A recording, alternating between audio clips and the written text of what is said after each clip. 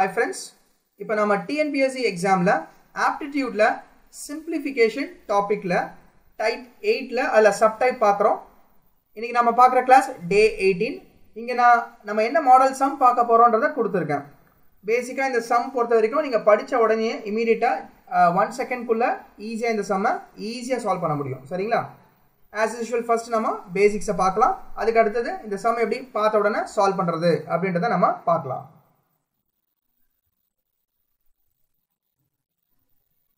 இந்த மாதிரி மாடலில் கொடுக்குற சம்ஸை பொறுத்த வரைக்கும் அவங்க என்ன ஃபார்முலா அதாவது ரிலேஷன்ஷிப் யூஸ் பண்ணுறாங்கன்னா A minus B whole square relation அவ்வளோதான் வேறு ஒன்றுமே இல்லை. அப்போ ஏ மைனஸ் பி ஹோல் ஸ்கொயர்னா என்ன அர்த்தம்? A square plus b square minus two ab இந்த இடம் தான் கேர்ஃபுல்லாக இருக்கணும். மைனஸ் டூ ஏபி இந்த இடத்துல ஏன்றது என்னன்னா எக்ஸோட மதிப்பு பின்றது என்னன்னா டூ பை எக்ஸோட மதிப்பு. அவ்வளோதான் வேறு ஒன்றுமே இல்லை. ஏவோட மதிப்பு எக்ஸ் பியோட மதிப்பு டூ பை எக்ஸ் ஸோ இந்த இடத்துல பார்த்தீங்கன்னா ஏ வர இடம்னா எக்ஸை சப்ஸ்டியூட் பண்ண போகிறேன் பி வர இடம்னா டூ பை எக்ஸை சப்ஸ்டியூட் பண்ண போகிறேன் அவ்வளோதான் அப்போ அதன் அடிப்படையில் பார்க்கும்போது ஏன்ற இடத்துல இந்த இடத்துல என்ன வரணும்? எக்ஸ் வரணும். மைனஸ் பி இருக்குது பின்ற இடத்துல எனக்கு டூ பை எக்ஸ் வரணும். அவ்வளோதான் அப்புறம் இது எல்லாமே whole square so whole square போட்டுடுறேன். This is equal to a square a ஸ்கொயர்னா என்னது? ஏன்றது எக்ஸ் அப்போ x square plus b square b ஸ்கொயர்னா என்னது? இதுதான் b square two by x தான் பி ஸ்கொயர் அப்போ டூ பை எக்ஸை வந்து ஸ்கொயர் பண்ணால் என்ன வரும்? அதாவது பின்றது டூ பை எக்ஸ் அப்போ பி ஸ்கொயர்னா ஸ்கொயர் பண்ணணும். அப்போ டூ பை எக்ஸை வந்து ஸ்கொயர் பண்ணால் ஃபோர் பை எக்ஸ் ஸ்கொயர்னு மாறும். ஃபோர் பை எக்ஸ் ஸ்கொயர் அப்புறமா மைனஸ் டூ ஏபி டூ அப்படியே எழுதிக்கிறோம். இன்ட்டு ஏ ஏனா என்னது இந்த இடத்துல? எக்ஸ் அதே மாதிரி பி பினா என்னது இந்த இந்த இடத்துல? டூ பை எக்ஸ் அப்போ இந்த டூ பை எக்ஸை எழுதிக்கிறேன். நல்லா கவனிங்க. கேன்சல் ஆகலாம் எக்ஸோ எக்ஸோ இந்த இடத்துல கேன்சல் ஆகுது. அப்போ இதை மல்டிப்ளை பண்ணால் எனக்கு மைனஸ் ஃபோர் கிடைக்கும். இந்த இடத்துல பாருங்கள் நல்லா கவனிங்க. X minus two by x whole square எனக்கு எக்ஸ் மைனஸ் டூ பை எக்ஸ்ன்றது என்னன்னு கொடுத்துருக்காங்கன்னா அதோட மதிப்பு ஃபோர்னு கொடுத்துருக்காங்க. அப்போது இந்த இடத்துல வரக்கூடியது ஃபோர் ஹோல் ஸ்கொயர்னு நம்ம சொல்லலாம். ஏன்னா இதோட மதிப்பு ஃபோரு அதாவது இதோட வேல்யூ ஃபோரு அப்புறம் ப்ராக்கெட் வந்துருச்சு. அதுக்கப்புறம் மேலே ஸ்கொயர் இருக்குது தட் இஸ் ஈக்குவல் டு இங்கே இருக்கிறது அப்படியே.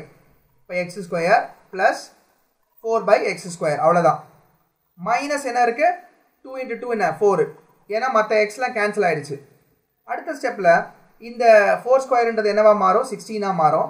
இந்த மைனஸ் ஃபோர் என்னவா மாறும்னா ரைட்டில் இருக்க மைனஸ் ஃபோர் லெஃப்டில் போச்சுன்னா ப்ளஸ் ஃபோராக மாறும்.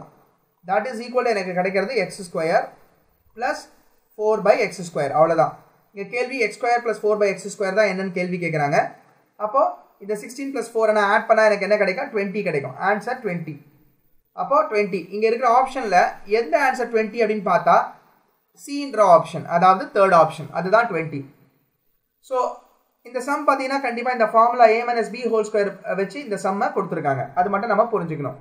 ஸோ இங்கே பார்த்தீங்கன்னா ஏ மைனஸ் பி ஃபார்மெட்டு இங்கே a square plus b square format அப்போ ஏ ஸ்கொயர் பி ஸ்கொயர் என்னவாக இருக்கும் தான் கேள்வி. சரி இன்னொரு சம் போட்டுட்டு அதுக்கப்புறம் எப்படி ஷார்ட்கட்டில் போடுறதுன்றதை பார்க்கலாம். Again a minus b whole square பாருங்கள் இங்கே வந்து இதை நான் ஏ மைனஸ் பி ஹோல் ஸ்கொயருக்கு ஈக்குவலாக எடுத்துக்கிறேன். திஸ் இஸ் ஈக்குவல் டு எனக்கு a square plus b square minus two ab இந்த இடத்துல ஏக்கு ஏவோட மதிப்பு தான் எக்ஸு இந்த இடத்துல பியோட மதிப்பு தான் ஃபோர் பை எக்ஸ் அப்போ ஏ எங்கெல்லாம் வருதோ எக்ஸு பி எங்கெல்லாம் வருதோ ஃபோர் பை எக்ஸு நல்லா கவனிங்க. ஏன்றது இந்த இடத்துல எக்ஸ்ன்னு மாறிடுது. இந்த இடத்துல மைனஸ் பின்றது ஃபோர் பை எக்ஸாக மாறிடுது. இது எல்லாமே என்னது? Whole square that is equal to a square என்ன வரும் எனக்கு? வெறும் எக்ஸ் அதாவது x square plus b square என்ன வரும் எனக்கு? ஃபோர் பை எக்ஸ் பின்றது ஃபோர் பை எக்ஸு பி ஸ்கொயர்னா அதை ஸ்கொயர் பண்ணணும். அப்போ பின்றது ஃபோர் பை எக்ஸ்னா பி ஸ்கொயர் என்ன வரும்? சிக்ஸ்டீன் பை எக்ஸ் ஸ்கொயர்னு வரும். சிக்ஸ்டீன் பை எக்ஸ் ஸ்கொயர் ஏன்னா ஃபோரோட ஸ்கொயர் அப்புறம் எக்ஸோட ஸ்கொயர் அப்போ சிக்ஸ்டீன் பை எக்ஸ் ஸ்கொயர் அப்புறம் மைனஸ் டூ ஏபி டூ ஏபினா எனக்கு என்ன வரும்? டூ இன்ட்டு இந்த ஏவோட மதிப்பு தான் எக்ஸ்ன்னு தெரியும். எக்ஸு இன்ட்டு இந்த பியோட மதிப்பு தான் என்னது? ஃபோர் பை எக்ஸ்ன்னு தெரியும். அப்போ ஃபோர் பை எக்ஸு நல்லா கவனிங்க. மல்டி இந்த இடத்துல எக்ஸும் எக்ஸும் கேன்சல் ஆகிடும் அதுக்கப்புறம் இருக்கிற வேல்யூஸ் பாருங்கள் இந்த இடத்துல x minus four by x x minus four by எக்ஸோட மதிப்பு டென்னு கொடுத்துருக்காங்க. அப்போ இதோட மதிப்பு டென்னு அப்போ நான் இங்கே டென்னு எழுதுறேன். அப்புறம் ப்ராக்கெட் வருது. அதுக்கப்புறம் ஸ்கொயர் வந்துடுது இந்த ப்ராக்கெட் அப்புறம் square this is equal to எனக்கு என்ன வருது?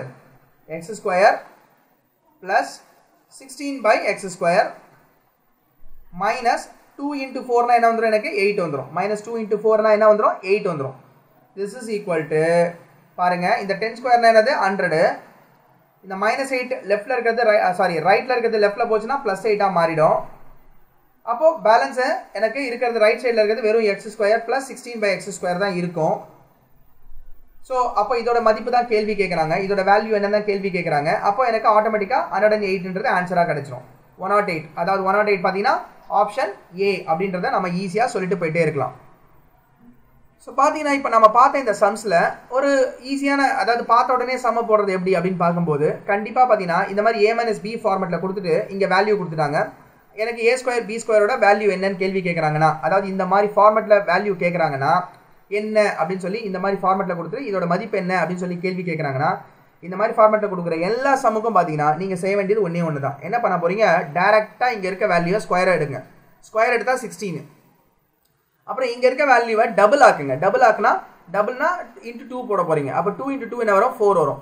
இதை அப்படியே ஆட் பண்ணுங்கள் அதான் ஆன்சர் அப்போ ஃபோர் ப்ளஸ் சிக்ஸ்டீன் என்ன? டுவெண்ட்டி டுவெண்ட்டின்றது என்ன ஆப்ஷன் தேர்ட் ஆப்ஷன் அவ்வளோதான் ஸோ திருப்பி சொல்கிறேன் என்ன பண்ண போகிறீங்க ஸ்கொயர் பண்ண போகிறீங்க அப்புறம் இங்கே இருக்கிற வேல்யூவை நம்ம அப்படியே டபுள் ஆக்கி ஆட் பண்ண போகிறோம் அவ்வளோதான் வேறு ஒன்றுமே இல்லை. ஸோ பாருங்கள் அகெயின் இந்த சம்பளம் பாருங்கள் நம்ம என்ன பண்ண போகிறோம் இதை அப்படியே ஸ்கொயர் ஆக்குனா ஹண்ட்ரட் வந்துடும் அப்புறம் இதை டபுள் ஆக்குனா எயிட் வந்துடும் ரெண்டுத்தையும் ஆட் பண்ணால் ஹண்ட்ரட் அண்ட் எயிட் அவ்வளோதான் முடிஞ்சு போச்சு. இதோ இங்கே இருக்கு பாருங்கள் ஹண்ட்ரட் அண்ட் எயிட் அதே மாதிரி தான் அடுத்த சம் பாருங்கள் என்ன பண்ண போகிறோம் ஸ்கொயர் ஆக்குறோம். இதை ஸ்கொயர் ஆக்குனா நமக்கு கிடைக்கிறது ஃபோர் ஹண்ட்ரட் அப்புறம் இந்த வேல்யூவை டபுள் ஆக்குறோம். டபுள் ஆக்குனா என்ன வரும்? ஃபோர்டீன் வரும். அப்புறம் ரெண்டுத்தையும் ஆட் பண்ண போகிறோம் ஆட் பண்ணால் four hundred and fourteen four hundred and fourteen எந்த ஆப்ஷனில் இருக்குது பீன்ற ஆப்ஷனில் இருக்குது அவ்வளோதான் ஸோ இந்த மாடலில் கொடுக்கக்கூடிய சம்மை பார்த்து அதாவது நீங்கள் படித்து முடிச்ச இமீடியட்டாக வித்தின் ஒன் செகண்டில் இந்த சம்மை ஈஸியாக சால்வ் பண்ண முடியும். சரிங்களா? ஆல்வேஸ் பேசிக்ஸ் கண்டிப்பாக நமக்கு நல்லாவே தெரியணும். அதுக்கப்புறம் ஷார்ட்கட்டில் எப்படி போகிறதுன்றதை நம்ம ஞாபகம் வச்சுக்கணும். கண்டிப்பாக எக்ஸாம் எழுதும்போது ஈஸியாக மார்க் எடுக்கிறதுக்கு அது அதாவது காம்படிஷன் அப்படின்னு வரும்போது மற்றவங்களோட கம்பேர் பண்ணும்போது மார்க்கை ஸ்கோர் பண்ணுறதுக்கு நமக்கு வந்து கம்மி டைமில் அதிகமான மார்க் எடுக்க முடியும். அது இல்லாமல் பார்த்தீங்கன்னா டைமை சேவ் பண்ணும்போது இன்னொரு சம் போடுறதுக்கு நமக்கு வாய்ப்பும் எக்ஸ்ட்ராவும் கிடைக்கும்.